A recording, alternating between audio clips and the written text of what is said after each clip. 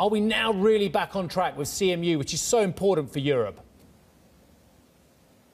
Well, absolutely. Good morning to you. Uh, we are very much back on track, and in my view, we never went off track because having um, a capital markets union is essential for the European Union. And of course, we have capital markets, they're national, and there are barriers uh, between those national markets, and we're trying to remove some of those barriers.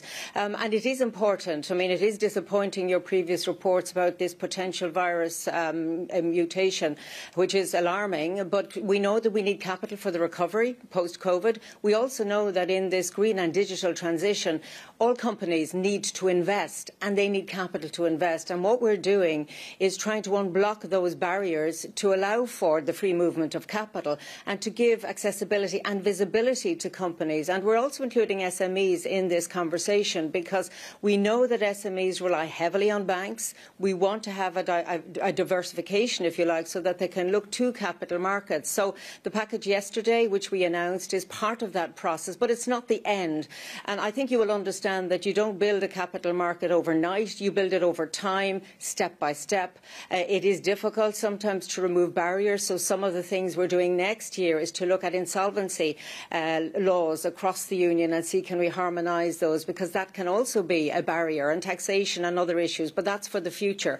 What we're doing in this package is, if you like, putting um, a real impetus into capital markets union. We're talking about setting up a very unique unique European single access point, information about companies, large and small. Uh, those who report, of course, will uh, report on financial information, that's clear. But more importantly, in this transition, we want them to report on sustainability information. And for smaller companies, they will have the option of being part of that.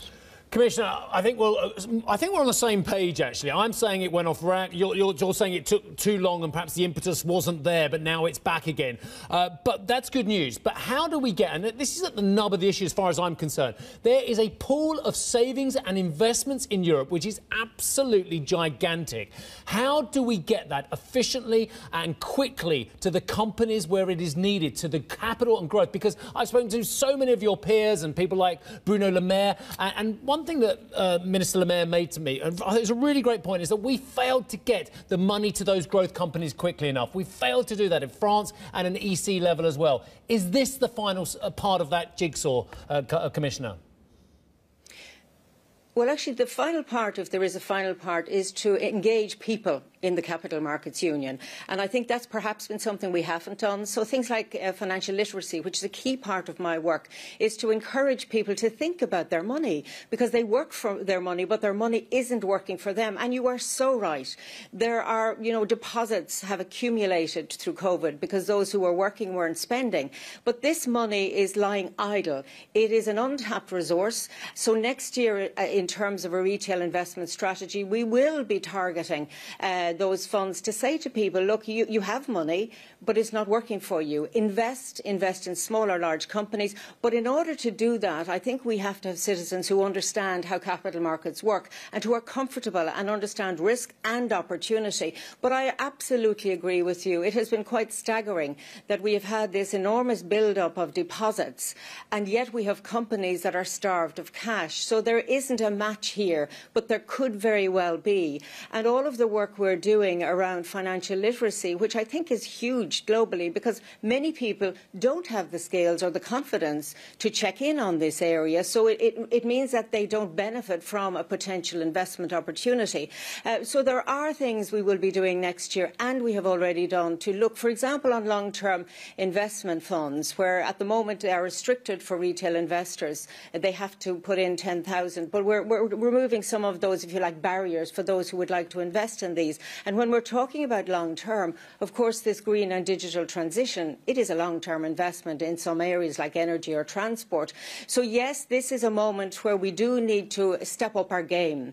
But in, in doing so, we just don't talk to those who are big in the system, who understand it. We need to talk to people, citizens across the member states.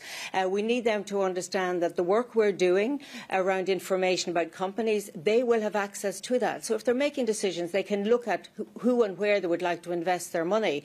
Uh, and therefore, an understanding of how the system works is absolutely vital. But this does take time, and I think you are right. There is an urgency about what we're doing now, um, not only because of Brexit, which you referenced. Of course, when, when UK was part of the European Union, London was our, our you know, a financial centre. That's not the case today. But I think the pressure comes from knowing that there is capital that has not been utilised. There is huge need amongst uh, SMEs, corporates for investment. And it's also fair to say that we have made progress. We are seeing developments on the Capital Markets Union which are right. positive, but we need much more to right. happen.